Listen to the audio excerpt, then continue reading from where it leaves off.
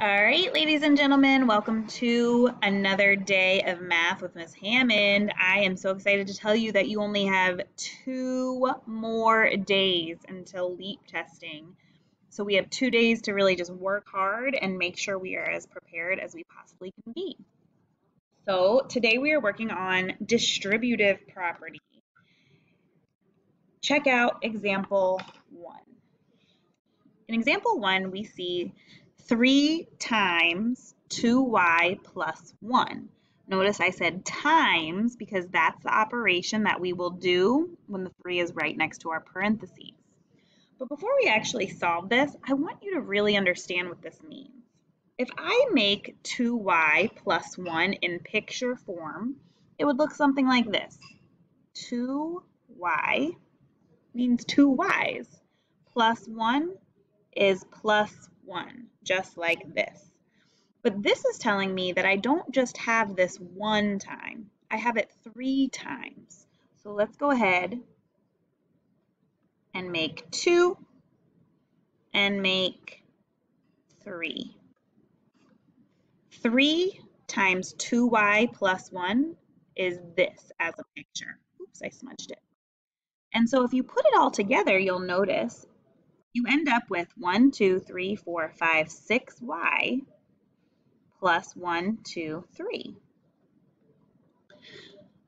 And so check it out. If we actually solve this the way that we learned how to solve it in class, we put 3 times 2y plus 1, and we draw our arrows. These arrows represent the distributive property. It represents multiplication.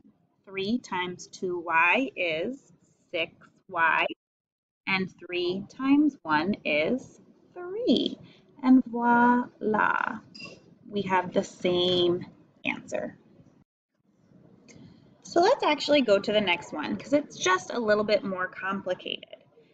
In this one, we have negative 2 times 3 minus 5x plus 10. So if we were to draw a picture of this, we would look at what's in the side of our parentheses, 3, and negative 5x. And so we could just put it like this. We're not going to draw it all out. But we don't just have this once, we have it twice. So I'm going to put another 3 and another negative 5x. But you might notice something very important there, there is a negative sign in front of our 2. And so what this means is that everything inside the parentheses is going to become the opposite. So this 3 can't just be a 3. It has to be negative 3. Write that down. And this negative 5 can't just be a negative 5. It has to change to a positive 5 because this negative tells us that will have the opposite. This 10 is outside of the parentheses, so that stands alone. And if we put this all together, you'll see we have negative 6, positive 10x, plus 10. Oh, these pens. Try another one. Plus 10. Now, I cannot combine anything with my positive 10x, so I'm going to just keep that by itself, positive 10x. But I can combine negative 6 and positive 10, and that would make positive 4. So let's see what this would look like without a picture. First step, write down your problem.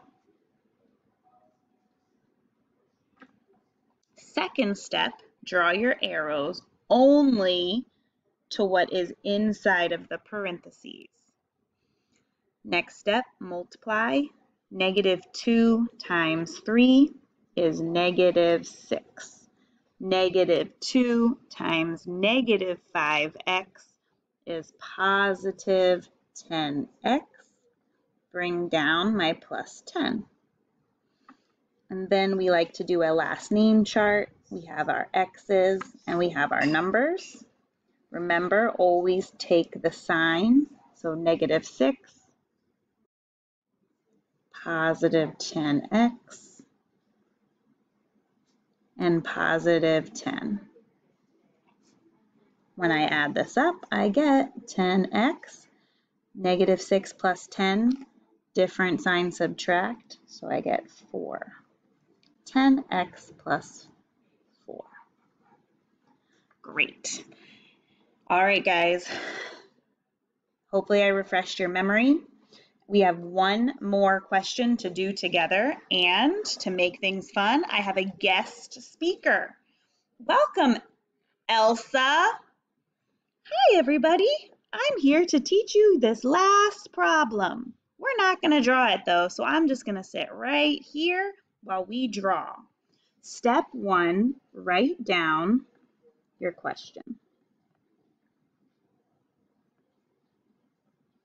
Step two, draw your arrows. Step three, multiply, but only multiply by what is inside of the parentheses. 1 times 6 is 6. Half of 6 is 3. So if I put that together, 1.5 times 6 is 9x plus 1 times 10 is 10. Half of 10 is 5. Put that together, 15. Bring down my plus 2. And I'm going to do a last name chart. I have x's and I have numbers. 9x, 15, positive 2. All right, add it all up. 9x plus 17. What do you think, Elsa? Is that correct? Looks good to me. All right, everybody, go ahead and flip to the next page. Put your answers in class kick.